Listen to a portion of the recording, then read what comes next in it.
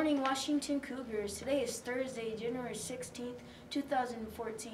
I am Damian here with Autumn. Thanks for joining us for WJS News. For lunch today, chili cheeseburger sliders, grilled cheese, golden brown fries, second choice vegetable, assorted fruit, and milk. We would like to wish a happy birthday to the following student Cameron Gorzalewski. and a happy birthday to the following students during our four-day weekend. Elena Gregory, Bodie Stoller, Jason Woolley, Kelsey Brooks, Carly Du Bois, and Riley Nuremberg. The after-school homework help session for tonight will be held in Miss Chaka's room 205.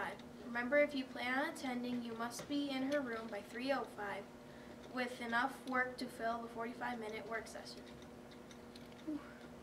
The Whitmer High School dance team is holding a dance clinic Saturday, February 1st.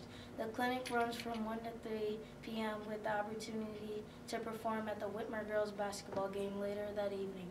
Stop outside the attendance office to get your registration form today. Hello students, Youth to Youth is sponsoring our Valentine's Day to save the day. Save so save the date. It will be Thursday February 6th. from 7 to 8:30.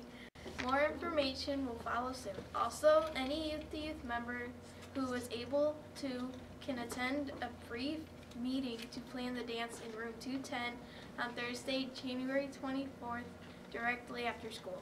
Have a pterodactyl Thursday.